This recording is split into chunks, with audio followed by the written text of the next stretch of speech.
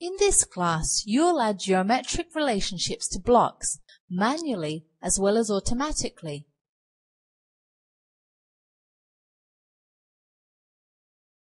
These relationships are necessary for keeping block geometry defined and are part of the elements responsible for block parameterization.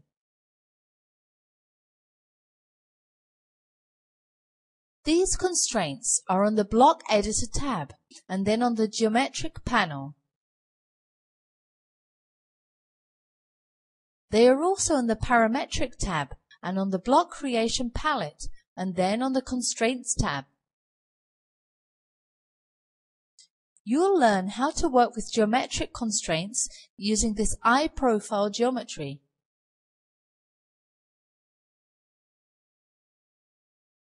The Auto Constraint tool is the fastest way to insert geometric constraints. This tool automatically inserts all geometric constraints necessary for defining the geometry. It's so easy to use. You just have to enable the command and select the drawings which will be part of the block. However, it's not possible to always be successful using this tool, as it doesn't always meet the needs of the project intention.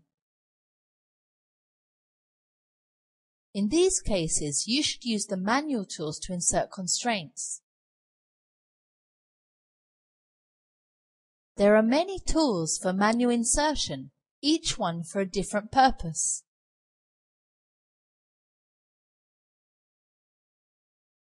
Let's take a look at each one. Coincident. This tool makes points or objects be coincident, no matter how they are edited. Collinear.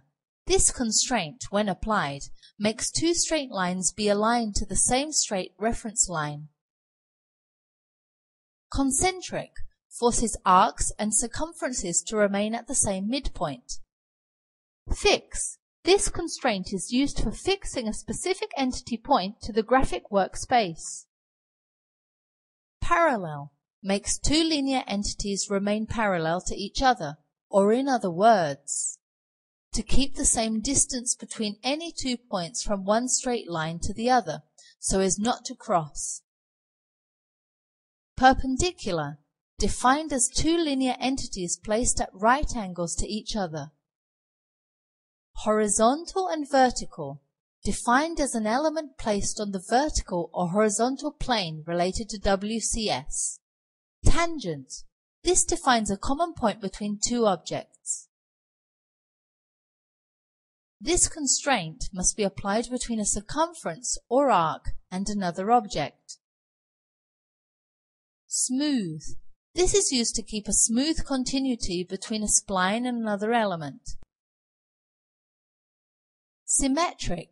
This relationship, when inserted, automatically resizes selected entities and changes the distance between them symmetrically. Equal defines identical measurements for two elements. When you use these tools, you'll be able to define how entities behave related to others which are part of the geometry. So let's apply geometric constraints to this block and take advantage of the Auto Constraints tool. Enable the tool, select all elements, and confirm the selection by pressing the Enter key. Notice how all required constraints have been inserted for defining the block. So in this class, you've learned how to use the geometric constraint tools to create parametric blocks.